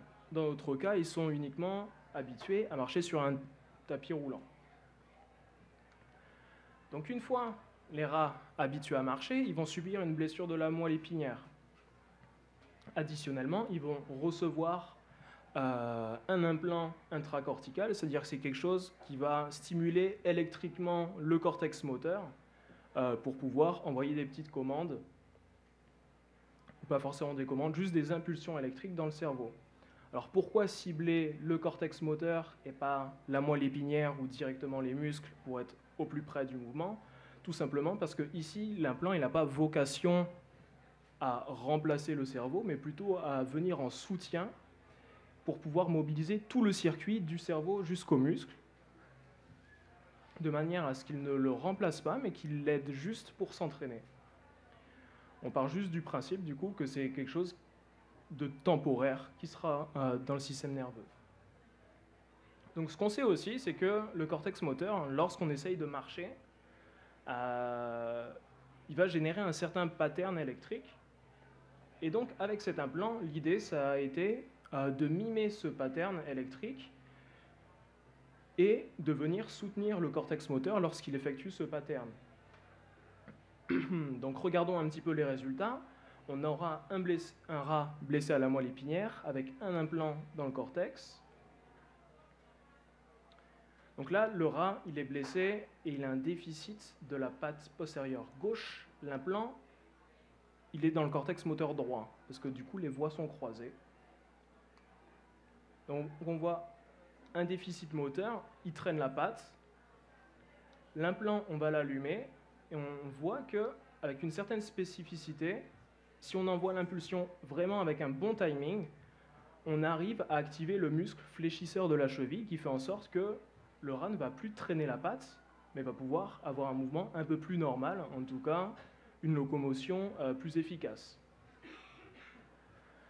Donc ce qui est vraiment cool avec ça, c'est que là, le rat, il a eu besoin d'aucun entraînement. On a juste essayé de trouver la bonne électrode, euh, comme on a parlé Léo euh, précédemment. Mais c'est quelque chose qui se fait beaucoup plus rapidement chez le rat, parce que là, c'est juste 32 électrodes. Mais ce qui est encore plus cool, c'est que lorsque les rats s'entraînent à marcher sur le tapis, ils deviennent meilleurs, ils peuvent remarcher. Mais lorsqu'ils s'entraînent à marcher sur le tapis avec une stimulation, ils deviennent encore meilleurs que le rat qui a juste fait un entraînement locomoteur. Mais le bon takeaway avec ça, c'est que après 30 minutes de stimulation par jour pendant un mois. On arrête de stimuler, on reteste les performances de ce rat, de ce groupe de rats, un mois après, et on voit qu'il a conservé ses performances. Qu'est-ce que ça veut dire? Ça veut dire que après une thérapie de stimulation, euh, quand on l'a stoppé, on a réussi à jouer sur cette plasticité neuronale pour faire en sorte de mobiliser les mécanismes naturels et de faire en sorte que sur le long terme, on ait une récupération qui s'est faite plus efficacement. Donc, ça, ça ouvre la voie à plein de choses, parce qu'évidemment, c'est quelque chose de très très basique. On a juste essayé de mimer certains patterns électriques pour les retransmettre. Il y a plein de raffinements du signal électrique, de l'information, d'utilisation de la stimulation du cortex pour les voies descendantes mais pourquoi pas dans les voies ascendantes, qui vont faire en sorte que on peut rendre ces implants plus efficaces pour, pourquoi pas, un jour les translater vers l'homme et faire quelque chose d'encore plus cool. Donc c'était vraiment une preuve de principe qui amène à tous les futurs progrès dans le domaine de la réhabilitation euh, motrice à pousser euh, le domaine vers de nouveaux horizons. Merci.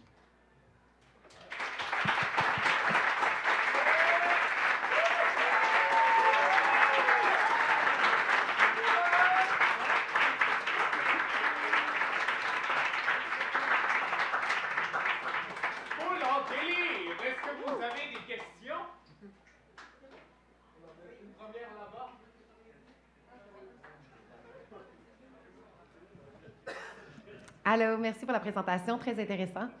Euh, je veux t'entendre un peu plus sur le transfert à l'homme parce que je sais que, bon, on n'a pas la même plasticité que chez le rat, par exemple, euh, suite à une lésion de la moelle épinière.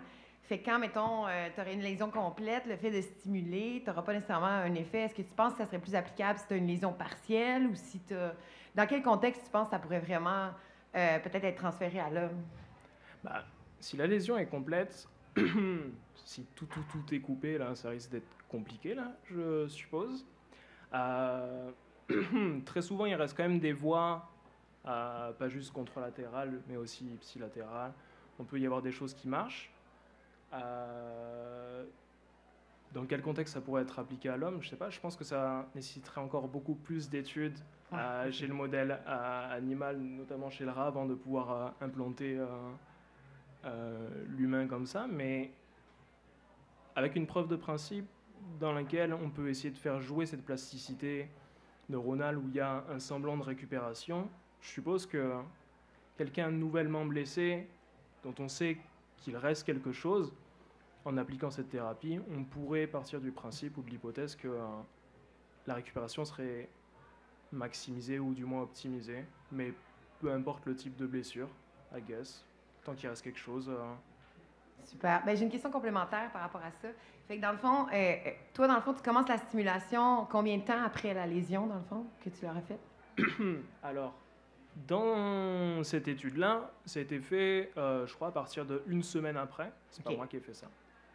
Euh, mais le, en effet, c'est une question assez cool parce que le timing d'application de la thérapie est aussi très important. C'est-à-dire, est-ce que c'est plus efficace de faire ça juste après la lésion ou Exact. un mois, deux mois, trois mois après On part du principe que le plus, plus c'est tôt, mieux c'est, mais peut-être pas non plus trop tôt. C'est aussi quelque chose du coup qui est en train d'être étudié dans le laboratoire. On est en plein dedans. Parfait. Du coup, euh, je sais pas encore la réponse, mais Ouais, c'est quelques ça. mois. Il y a peut-être une période critique là, après la, la- la- le- quand ils se sont remis, là, etc. Bon, Oui. ben, super, merci. J'aurais juste un commentaire, tant qu'à faire. Ça marche? Oui, euh, chez moi, j'ai un rat justement qui a les deux pattes arrière qui ne marchent plus, qui traînent, mais ça, c'est parce qu'il est vieux en fait. C'est une question de vieillesse. Est-ce que ça serait le même? Enfin, j'imagine, c'est pas le même mécanisme entre, la... entre une, une lésion qui fait qu'il a les pattes arrière qui traînent ou le fait que bah, c'est une dégénérescence neuronale ou. euh, j'imagine que c'est pas le même mécanisme. Y a-t-il un espoir pour mon rat en fait? C'est ça ma question.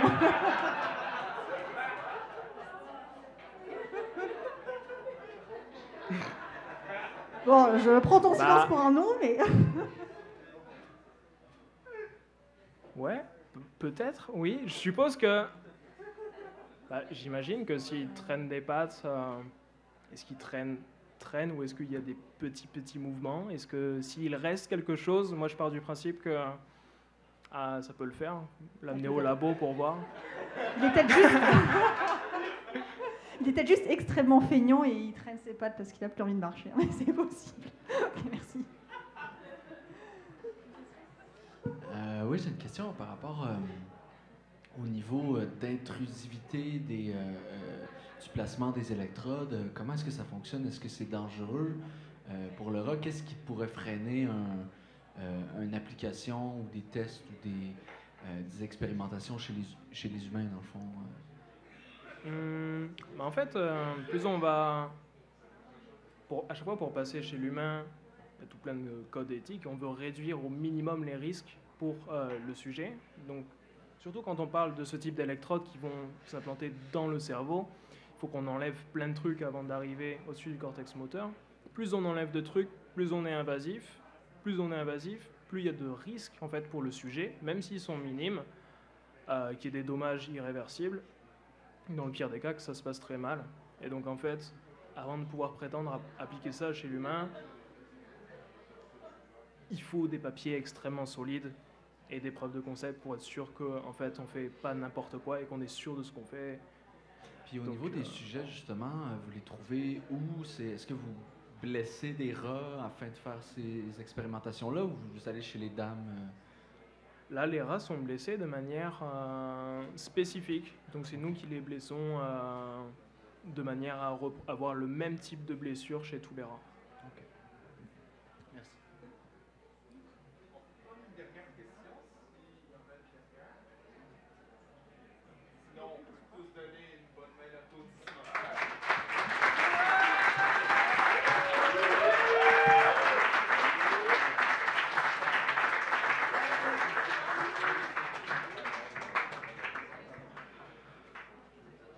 Yes.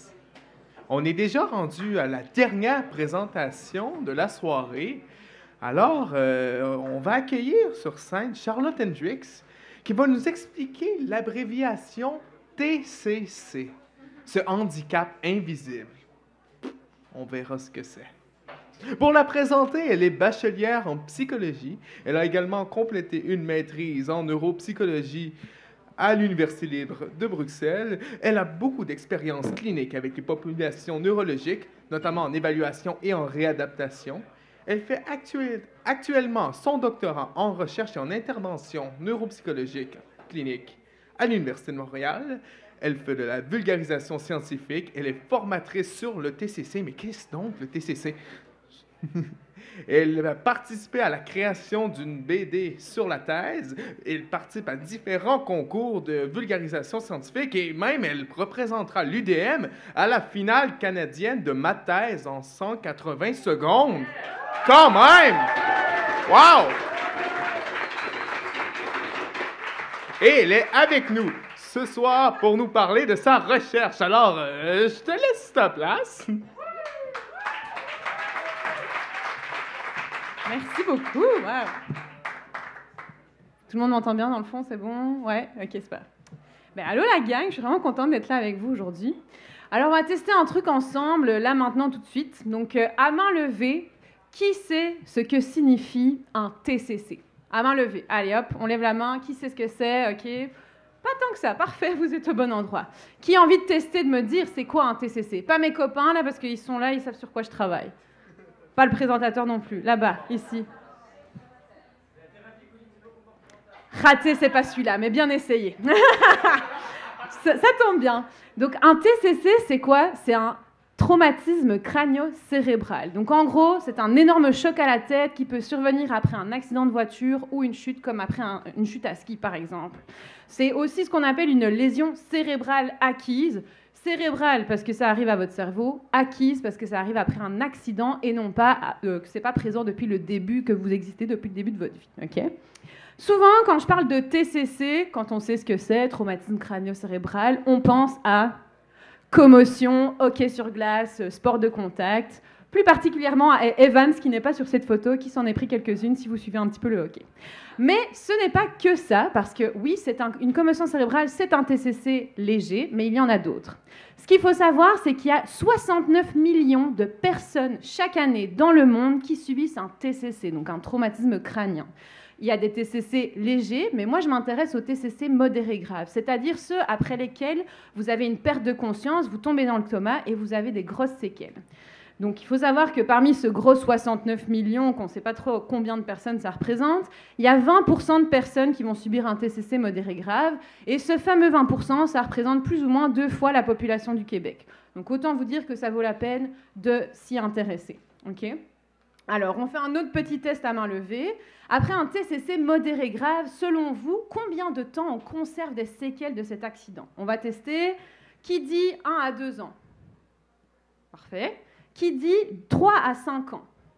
Ah, ok, là déjà je vois quelques doigts qui se lèvent. Qui dit 5 ans et plus. Yes, good job, gang. Donc, en effet, après un TCC, on va subir plein de séquelles dans différents domaines. Puis, pour la plupart, quand c'est des sévérités importantes, ces séquelles vont être chroniques, c'est-à-dire qu'elles vont être présentes toute la vie. Donc, un TCC, c'est pas juste un accident à un moment T quand vous vous crachez en voiture. C'est une condition chronique qui va accompagner la personne qui change du tout au tout tout au long de sa vie. D'ailleurs, c'est une des campagnes qui a été utilisée par Connexion TCC, qui est un organisme en fait qui, représente pardon, et qui défend cette population-là. C'est-à-dire qu'un TCC, comme vous voyez en bas, c'est trois lettres qui changent une vie. Après un TCC, donc, on peut avoir des séquelles dans plein de domaines. On a parlé de la mémoire tantôt, donc dans tous les domaines de la mémoire, procédurale, épisodique, sémantique. On peut avoir des difficultés en motricité, on en a beaucoup parlé aussi aujourd'hui. En langage, euh, notamment après un AVC aussi, on a des séquelles similaires. Et finalement, dans les comportements et les émotions. Donc, c'est bien d'avoir des séquelles. Souvent, on les voit. Mais ce qui est encore plus difficile, c'est quand on ne les voit pas. Et c'est ça qu'on appelle un handicap invisible. Donc avant de vous expliquer le concept, je vais vous montrer une toute petite vidéo qui dure une minute et qui va illustrer ce propos-là. Si, ça marche. Normalement, si tu cliques euh, avec ta souris, ça devrait apparaître. Tadam! Ah oui, je crame!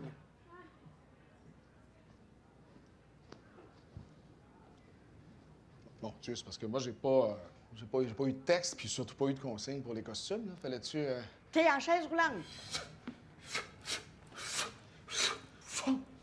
Tu t'es foulé à la cheville.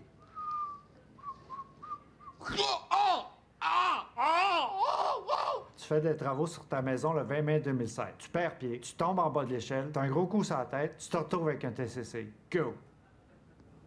Un TCC. Un traumatisme crânio-cérébral. Oui, enfin, Oui, t'as compris. voilà, il l'a eu, Parfait. enfin, Nicolas. Eh, vraiment, il l'a eu. Un traumatisme crânio-cérébral ne paraît pas toujours physiquement, mais les handicaps invisibles, eux, sont pourtant bien présents. Ah, en passant. TCC. Pas crustacé. TCC. C'est ça, je te tiens la pince. Donc vous l'avez compris, un TCC, c'est pas toujours marqué sur le front de la personne qui l'a subi. On n'est pas toujours en chaise roulante, on n'a pas toujours une canne à la main. Souvent, ça peut être invisible. Alors souvent, ben, ça peut être qui finalement? Ben, Ça peut être euh, Nabil, 37 ans. Ça, c'est votre voisin que vous savez qu'il a subi un accident de voiture alors qu'il portait pas sa ceinture de sécurité. Depuis, ben, il a super du mal à gérer sa vie quotidienne, c'est très difficile et vous savez qu'il a de plus en plus d'altercations avec la police. Ça peut être aussi euh, Lionel, 47 ans. Ça, c'est l'itinérant qui squatte euh, la place devant le Dollarama de votre quartier et qui fait un peu chier les voisins. Ben, lui, en fait, il a subi une chute à ski. Alors malheureusement, il avait un très petit réseau social et familial qu'il a perdu après l'accident. Il n'a pas eu d'assurance et il a perdu son travail et donc il a perdu son logement. Ça peut être aussi euh, Louise, 73 ans. Alors ça, c'est la petite mamie cute que vous connaissez depuis que vous êtes enfant parce que c'est la grand-mère de votre amie. Elle, elle a malheureusement fait une chute pendant la nuit alors qu'elle allait à la salle de bain.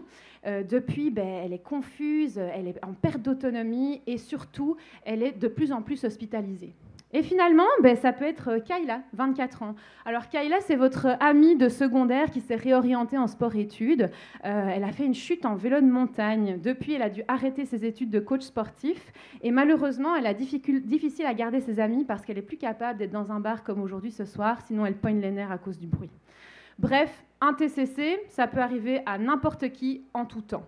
Alors, ces personnes que je viens de vous présenter qui sont fictives, elles n'ont pas juste le TCC en commun, elles ont aussi une séquelle qui est très fréquente et très handicapante au quotidien et surtout qui est présente à long terme. Et c'est ce qu'on appelle les troubles du comportement. Moi, j'aime les appeler les comportements problématiques. C'est des comportements qui sont socialement dérangeants, qui, transgressent les normes sociales et qui peuvent mettre la personne en danger ou son- ses proches, ses amis, et aussi qui peuvent évidemment terminer son estime d'elle-même et sa dignité. Globalement, les plus fréquents, ben, c'est l'agressivité verbale ou physique, les comportements sociaux inadéquats et ce qu'on appelle le manque d'initiation, c'est-à-dire cette difficulté à se mettre en route pour se mettre en activité. On reste avachi dans notre canapé, puis on bouge plus. Là, vous allez me dire, ouais, mais tu sais, euh, comportement problématique, ça ne doit pas être si fréquent que ça. Et pourtant, ça touche plus d'une personne sur deux après un TCC qui retourne à domicile ou dans une résidence comme un CHSLD. Donc au final, c'est quand même plus fréquent que ça. Ça peut être notre Nabil de tout à l'heure qui en fait pète une coche dès qu'il rentre à la maison sur sa femme et ses enfants parce qu'ils font trop de bruit. Ou ça peut être notre fameux Lionel, l'itinérant, qui va faire un commentaire inadéquat à toutes les belles filles qui passent devant le Dollarama. D'accord? Donc, on sait que c'est fréquent, on sait que c'est problématique, on sait qu'il y a des interventions aussi. Pourtant, elles sont peu accessibles pour les familles une fois qu'elles retournent à la maison. Il y en a dans le service de la santé, mais qu'est-ce qu'on fait quand on retourne à la maison? Eh ben, C'est la famille qui se retrouve avec ce problème à à- comment, chez eux. Et donc, c'est ce à quoi moi je m'intéresse. Donc, moi, comme- comment je le vulgarise, ces comportements-là, parce que là, vous allez me dire, ouais, mais moi aussi, je pète les nerfs quand il y a quelqu'un qui me coupe la route euh, et que je suis en voiture, ou bien je pète une coche quand je rentre à la maison, puis mes, mes kids, ils n'arrêtent pas de gueuler tout le temps. 100%. J'espère que vous reconnaissez dans mes exemples d'ailleurs. Mais euh, chez les personnes qui ont subi un TCC, c'est des comportements qui vont être plus fréquents, qui vont être plus intenses, et le problème, c'est qu'ils n'arrivent pas à se contrôler. C'est ça l'enjeu. Donc le TCC, qu'est-ce qu'il fait? Il raccourcit la mèche et il déclenche le feu. Donc, comme je vous ai dit, on connaît bien la problématique. Qu'est-ce qu'on fait avec ça? Donc, moi, j'ai essayé de commencer par le départ, puis dans ma tête, je me suis intéressée à ces fameux comportements problématiques. Puis pour ce faire, j'ai fait ce que je sais faire de mieux, puis mes amis vont se reconnaître là-dedans. J'ai parlé avec des gens. Donc, j'ai fait des entrevues comme une journaliste et j'ai été voir mes experts du terrain, c'est-à-dire les personnes avec un TCC, puis les personnes proches aidantes. Ça, c'est des personnes de leur entourage qui leur fournissent une aide quotidienne, mais qui ne sont pas rémunérées. Donc c'est mes experts parce que c'est eux qui vivent avec le TCC puis les séquelles. hein. Donc moi j'ai été leur dire ok mais c'est quoi un comportement problématique? Comment ça se manifeste dans votre quotidien? C'est quoi qui est vraiment un enjeu chez vous? Et surtout comment vous faites pour les gérer? C'est quoi votre truc et astuces, vos stratégies? Donc j'ai fait des entrevues avec eux puis pour trouver mes réponses à mes solutions j'ai utilisé ce qu'on appelle l'analyse qualitative. Donc, on n'est pas dans les chiffres, on n'est pas dans les statistiques. Moi, j'ai analysé les propos de mes participants, leurs mots. Donc, j'ai lu, relu, re-relu leurs entrevues et j'ai essayé d'extraire les concepts et les idées clés pour savoir c'est quoi les comportements problématiques selon eux, leur perspective et leur stratégie pour y faire face. Je vous vulgarise le truc. Mes entrevues, c'est comme un méga sac d'oranges. Chaque orange est une entrevue. Je presse mon orange, c'est mon entrevue, mes analyses qualitatives, et j'en extrais le jus le plus pur, le plus essentiel, et ce sont donc mes résultats. Là, vous avez probablement envie, vous mourrez d'envie de savoir quels sont ces résultats. On a obtenu trois grandes catégories de comportements qui sont considérés comme problématiques par les individus. Les premières, agressivité verbale et physique. On l'a dit, c'est fréquent. Insulter, cracher, crier, frapper des gens, se frapper soi-même. On peut avoir aussi des difficultés dans les activités de la vie quotidienne. Donc, par exemple, je fais mon lavage, mais j'oublie mon lavage et je laisse les vêtements qui sont dans la machine, qui pourrissent, qui sont humides et qui, qui doit ramasser derrière la personne procédante. Troisième catégorie, les interactions sociales. Par exemple, je suis beaucoup trop familier avec les gens que je ne connais pas. Je veux leur faire des câlins, des bisous, je leur pose des questions inappropriées sur leur vie sexuelle. Ou inversement, je suis en relation avec des gens qui peuvent être mal intentionnés, puis je m'en rends pas compte et donc je suis à risque d'abus. Vous vous imaginez bien que dans une vie quotidienne, tous les jours, c'est problématique. Puis finalement, les stratégies que les familles ont, ont développées, quelles sont-elles? Trois grandes catégories également. Les premières, c'est des stratégies proactives, avant que le comportement arrive, pour éviter qu'il ne se produise. Par exemple, on évite les déclencheurs, on évite la belle fille dans la rue pour pas faire un commentaire inapproprié. Ensuite, on a les stratégies réactives. Le comportement est là, on a une crise, qu'est-ce qu'on fait? Si c'est de l'agressivité, par exemple, on peut se retirer de la pièce pour éviter d'être nous-mêmes un déclencheur et laisser la personne redescendre. Finalement, les stratégies rétroactives, c'est-à-dire après que le comportement ait eu lieu, et là, le but, c'est de donner un feedback, par exemple, à la personne pour qu'elle comprenne pourquoi elle a été inappropriée et surtout comment elle aurait pu faire pour agir différemment. Nous, ce qu'on a vu avec ces résultats, ce que j'ai vu avec mes résultats, c'est que c'est vraiment un travail de famille, mais ils ne sont pas toujours en, train de collaborer. Les personnes procédantes prennent ça sur leurs épaules quotidiennement, c'est un énorme fardeau, ils ont fait des essais et d'erreurs pour développer ces stratégies-là, mais on s'est quand même rendu compte qu'il y a des personnes avec un TCC, malgré leurs séquelles, qui sont quand même capables de s'autoréguler puis apprendre des stratégies. On espère en fait que ces données-là, elles vont nous permettre de faire évoluer les interventions qui existent, qu'elles répondent mieux aux besoins des familles, et surtout que ces informations-là, finalement, elles se retrouvent dans les mains des futures familles qui vont vivre les mêmes problématiques, pour leur faire un peu griller certaines étapes et espérer qu'ils aient plus rapidement une bonne stratégie efficace au lieu d'essayer tout le temps l'essai et l'erreur. Donc au final, avec ma présentation d'aujourd'hui, j'espère que je vous ai un petit peu sensibilisé au fil invisible de nos vies qu'on peut chacun avoir euh, derrière notre dos. Et surtout, je vous ai donné quelques gouttes de connaissances, c'est un petit peu le but aujourd'hui, mais aussi de la bienveillance et de la compassion envers les personnes qui vous entourent. Et je l'espère, peut-être des nouvelles lunettes pour pouvoir voir euh, l'invisible, qui sait. Donc au final, ben, je vous remercie pour votre écoute et surtout, ben, je n'ai pas mon verre en main, mais j'aimerais bien que vous, vous leviez votre verre à la santé de mes participants, que moi je considère vraiment comme des héros de résilience, puis peut-être à toutes les personnes qui se sont reconnues aujourd'hui dans ma présentation. Merci à ceux qui ont levé leur verre. Et en attendant, ben, je vous souhaite santé. Merci de votre écoute, puis j'attends vos questions avec impatience.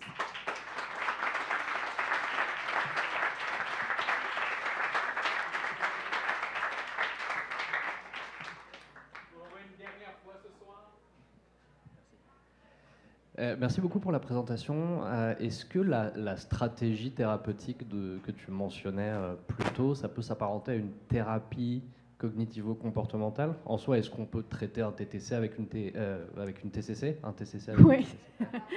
Ben, dans les interventions sur les troubles du comportement, précisément, il y a différents types d'approches. Il y a comme trois grandes approches. Puis, en effet, la thérapie cognitivo-comportementale en fait partie. Tu avais raison, TCC, c'est aussi thérapie, mais c'était un TCC, pas une TCC. C'était ça le piège. Euh, ceci dit, ça va dépendre aussi du niveau de séquelles de la personne qui a subi le TCC, parce que la thérapie cognitivo-comportementale, pour ceux qui ne connaissent pas, c'est quand même, le but est d'identifier les pensées euh, qui sont, euh, on va dire, dysfonctionnelles, si on le vulgarise gros, puis de travailler sur ces pensées-là, de travailler sur ces schémas cognitifs. Donc ça demande quand même une capacité de prise de conscience de ses propres émotions et pensées, ce qui n'est pas à la portée de tout le monde après un TCC, surtout dans les TCC graves. Euh, une des séquelles qui est fréquente aussi, dont je n'ai pas parlé, c'est ce qu'on appelle l'anosognosie, c'est-à-dire le trouble de la conscience de ses propres difficultés. Donc ils ne, sont- ils ne se rendent pas compte de leur comportement ou des autres séquelles. Donc avec des patients qui ont ce genre de trouble, TCC, ça va être compliqué, mais ça fait partie des options. Merci. Le problème avec ces approches-là, c'est que ça doit être fait par un thérapeute. Et quand ça fait 10, parce que moi je vous ai pas dit, mais mes participants, ils sont en moyenne post-20 ans TCC. Donc on n'est pas dans 1, 2, un an, 2 ans, 6 mois, on est dans 20 ans post. Donc ils sont à la maison, en CHSLD, en résidence privée. Puis là, il n'y a, plus de y a plus de professionnels de la santé rendus là. On a des psychoéducateurs, des éduxp, mais on n'a pas des psychologues, par exemple, pour donner des thérapies cognitivo-comportementales. Puis c'est ça l'enjeu.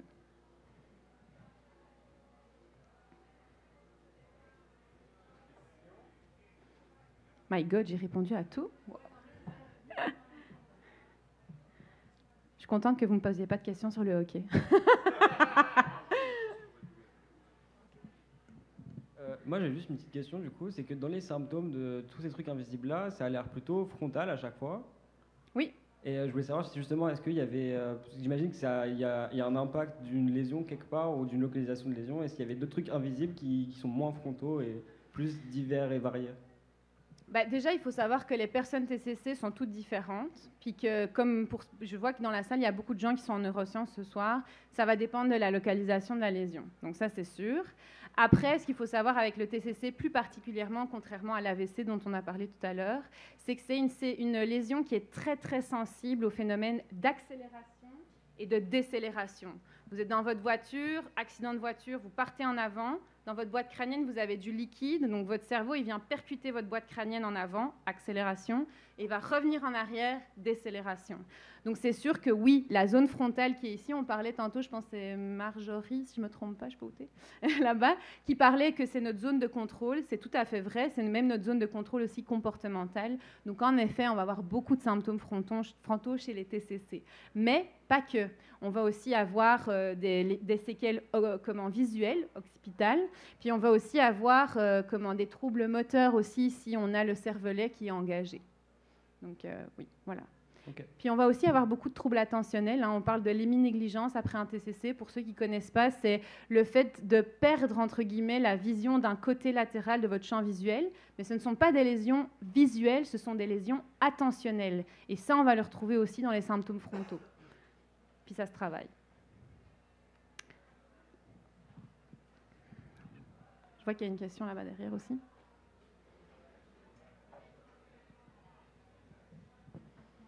Oui, dans le fond, comme vous dites que la plupart des, des personnes que vous avez vues avec TCC, ça faisait 20 ans. Est-ce que vous avez remarqué chez ceux qui allaient le mieux après 20 ans, tout ça, y avait-tu des stratégies ou des choses qui ont été faites qui, qui sortaient un peu de l'ordinaire ou qui, qui semblaient être meilleures? Ou c'est juste Mhm. peut-être la lésion de départ qui était moins difficile? Ou je sais pas, avez-vous pu faire des, des corrélations par rapport à ça? Non. Moi, j'ai fait une thèse 100% qualitative, donc je ne me suis pas intéressée à savoir si certaines stratégies avaient été mises en place à un moment T et avaient mieux fonctionné pour telle personne. Puis de toute façon, l'enjeu avec ça, c'est comme je l'ai dit, c'est tellement hétérogène et c'est tellement individualisé que c'est quasi pas possible. Puis d'ailleurs, dans la littérature sur l'intervention professionnelle, qui est vraiment donnée par des professionnels de la santé, on a du mal à prouver l'efficacité de ces interventions-là parce qu'on essaie de faire des essais contrôlés randomisés. Puis quand on a des gens qui sont aussi différents, ben c'est sûr qu'on ne va pas avoir de résultats statistiquement significatifs parce qu'ils sont tous trop différents. Donc on va se retourner vers des approches qui sont plus des case studies, qui ont moins de grand niveau d'efficacité. Donc moi, c'est aussi pour ça que j'ai fait du Cali, en fait. C'est pour vraiment extraire sur base de l'expérience des gens ce qui fonctionnait. Après, tu vois, c'est une critique. Moi, je défends ma thèse dans, un mois et demi. Puis c'est une critique à laquelle je m'attends parce que comment est-ce qu'on peut prouver l'efficacité d'une stratégie? Tu sais, on l'a pas prouvé. Non, par contre, on se base quand même sur l'expérience de gens qui l'ont fait pendant 20 20 ans, qui ont essayé d'autres trucs qui n'ont pas marché. Puis nous, on a extrait ce qui a marché. Par contre, on a aussi extrait ce qui n'a pas marché. Exemple, une personne se met en colère, ça va vous sembler euh, super évident. Si vous vous mettez en colère avec elle, il y a de fortes chances que ça augmente la colère de la personne. D'autant plus quand euh, sa gest- son autogestion est pas top. Donc eux, ils ont appris pendant les premières années, quand ils pétaient une coche avec, ben, que ça marchait pas. Donc leur stratégie maintenant, c'est de se taire, rester calme, se retirer, s'assurer que la personne est en sécurité. Donc oui, on l'a pas prouvé à l'aide de- d'essais contrôlés randomisés, on n'a pas fait de corrélation sur base temporelle, mais je peux pourrais mettre ma main à couper que si je le dis à une famille qui sort de l'hôpital que dans 5 ans, ils vont avoir des troubles du comportement, puis que c'est une stratégie, euh, ils vont l'essayer, puis ça risque de fonctionner. Ouais, je suis d'accord. Merci beaucoup. Merci.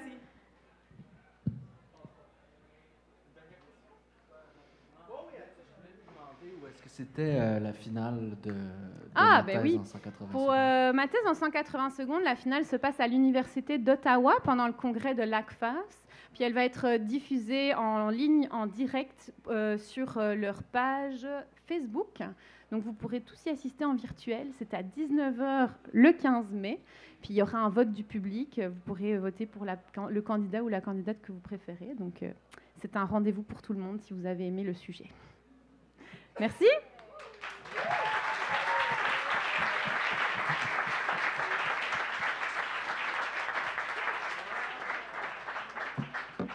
Merci beaucoup, Charlotte. C'était déjà notre dernière présentation de cette soirée. J'espère que ce fut agréable pour vous, cher public. Yes, yes. Comme je vous ai dit au début, on a un quiz, mais avant, on a quelques remerciements à faire pour bien faire les choses. Premièrement, euh, merci à vous, cher public, d'être ici, de donner votre attention, votre présence à la science vulgarisée pour le public. Merci pour votre présence. Donnez-vous une petite main d'applaudissement.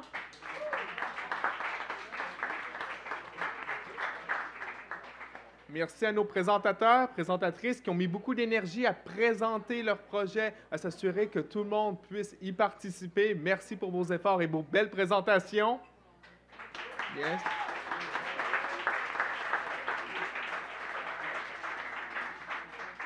Merci au pub Sainte-Élisabeth et son staff euh, qui nous accueillent dans leur mur ce soir pour qu'on puisse parler de science. Et finalement, merci au Centre d'innovation biomédicale, notre collaborateur pour la soirée. Yes.